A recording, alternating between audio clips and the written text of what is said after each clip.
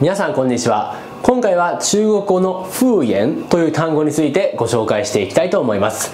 実はこの単語全く同じ漢字で不縁という日本語の単語が存在するのでそのまま使ってしまうケースがあるのではないかと思います。しかし中国語の風縁と日本語の不縁は意味が非常に大きく異なります。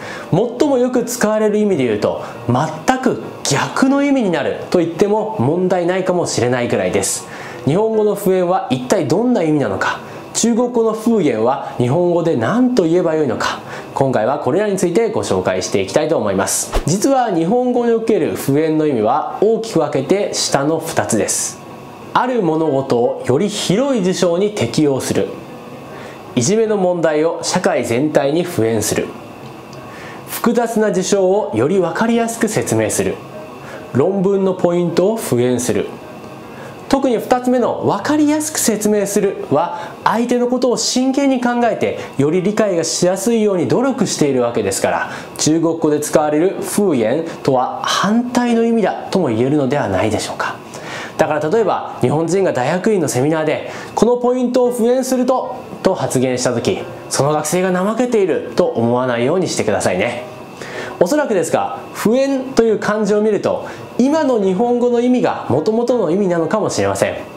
現代中国語ではこのもともとの意味が徐々に使われなくなっていき今の意味で使われることが大半になった結果見かけ上は日本語と中国語で意味が正反対であるかのように見えるようになったのではないでしょうか。ただ事実として中国語で風縁と言った時と日本語で不縁と言った時では聞いた人が最初にイメージする意味は大きく異なっているのでそのまま直接使ってしまうのはリスクが高いと言えるでしょう。では中国語における不縁は日本語では何と言えばいいのでしょうか。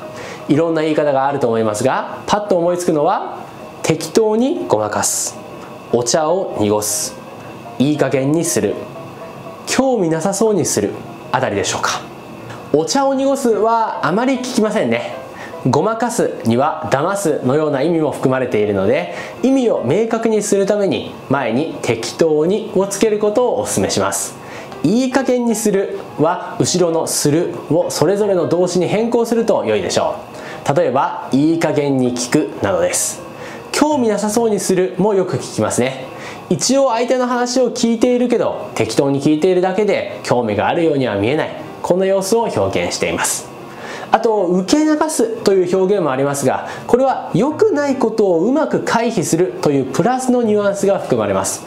今回の風言はマイナスの意味が入っていると思うので誤解が生まれてしまう可能性が高いのではないかと思います。最後に不要風言をはどう言えばよいでしょうか？当然そのままいい加減に聞かないでいや興味なさそうにしないででも問題ないですが個人的に一番よく聞くなと思うのは命令形でちゃんと聞いてですね。文脈的にこれで問題ない状況であればちゃんと聞いてを使うのが良いと思います。今回は風縁という単語についてご紹介してきました。他にも知りたい内容があればコメント欄で教えてくださいね。それでは今回の内容はここまで。また次回お会いしましょう。さよなら。